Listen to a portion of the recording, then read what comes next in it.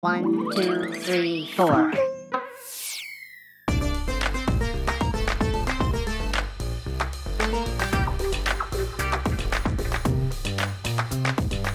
So we're going to create our scene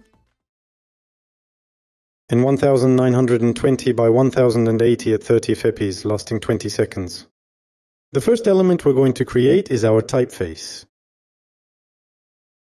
I'm going to use the HWT Gothic Round typeface, which you can download from the Adobe website. Of course, I'll enlarge it and center it. And I'll turn it into a shape layer. I'll be able to remove my original layer, we don't need it anymore. So the way to make soft bodies in Newton is to use a little tool called Prepare Soft Bodies. This tool will cut our shape layers or mask paths. It will add vertices at a distance that can be configured in the preferences. Here it will be a distance of 15 pixels. And every 15 pixels it will create a solid of a size of 15 by 15, and these solids will control the vertices of these paths. All I have to do is select my shape layers, click on Prepare for Newton, and it creates the set of objects that will define the contours of my object. Once that's done, I can close my script window I can display the layer to show what it looks like. For example, I'll select these objects, and if I move them, you can see that the path becomes distorted. So by moving these objects, I'll be able to change the appearance of my shape layer. I'm going to turn off this layer, I'm going to lock it, and here I'm going to add a circular mask on each of my objects. Why do I do this? Because here we have squares.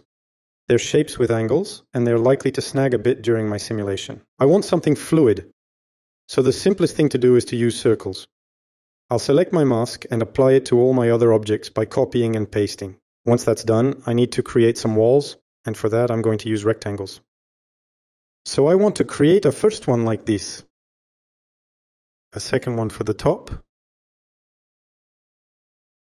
I can simply duplicate them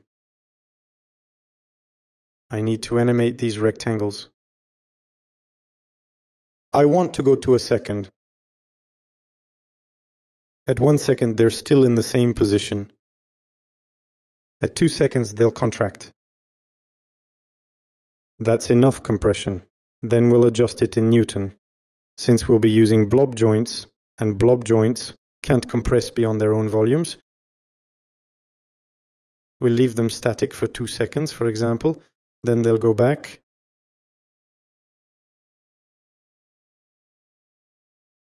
I've got my animation, I'll loop it. I'll add a simple expression, loop out cycle. I'll just copy the expression and paste it over the others.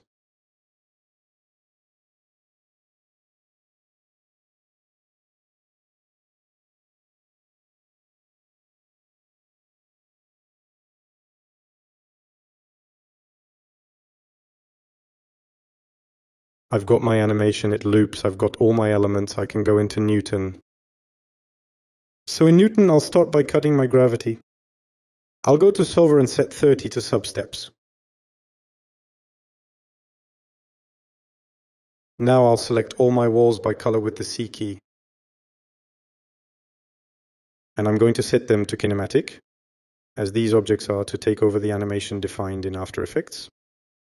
Don't forget to set gravity to zero,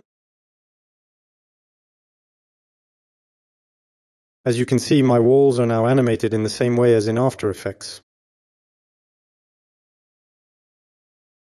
Okay, now for my objects. I'll select them by color by pressing C. And as I press Shift, I'm going to add a weld joint. This will create a series of joints, and you can see that they go all the way around my object. They're recursive, and I'll do that for the other sets of objects.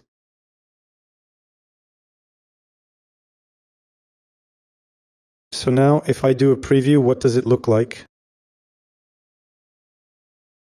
I've already got something. So the first thing we could do is take all our objects. So I'm going to press I to invert my selection. And I'll cut the friction completely.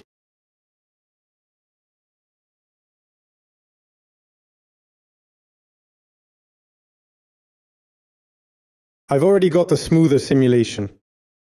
Now I'm going to select all the weld joints with the F key and enter the values 100 for tension and 30 for damping.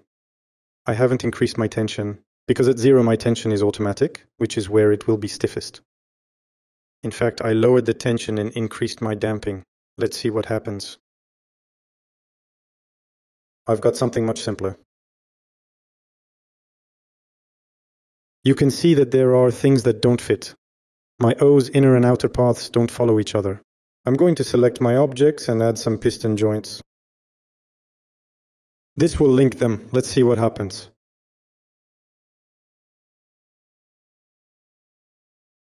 I've got my O looking good. Okay, here's the problem with the T. I find that its deformation isn't very pretty. So what I'm going to do is link these two points with a piston joint. And I'll do the same for the F. It'll keep my letters looking a bit better.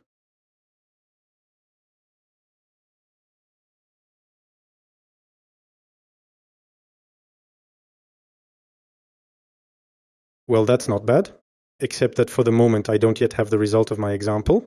Why not? Because I need to add a blob joint. So I'm going to select my groups by color. And I'm going to add a blob joint to them. So what does it look like now? With the blob joint, I can keep the volume. Here's a little problem. I think it's too tight. I need to move my walls a bit because with the blob joint I can keep the volume of my letters but there's not enough space. So you can see that it works much better.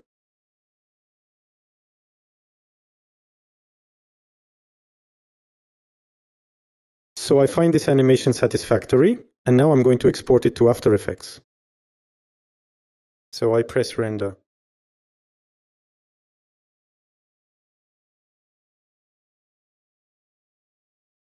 Now I have a new composition called Sim1.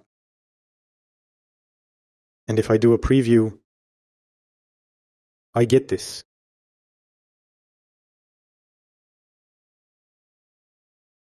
Well, that's fine, but what I want is the look of my letters. I'm going to select my layers by their labels. I'll hide them, and all I have to do is display my outline here, and do a preview. And you can see that I have my result directly.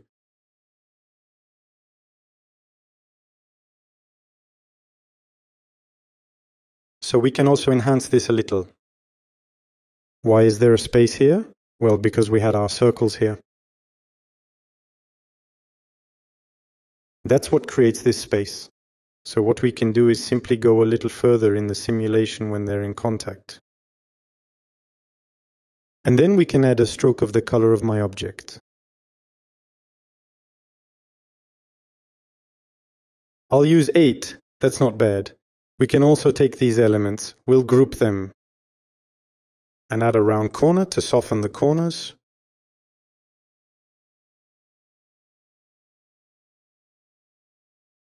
That's it for this tutorial.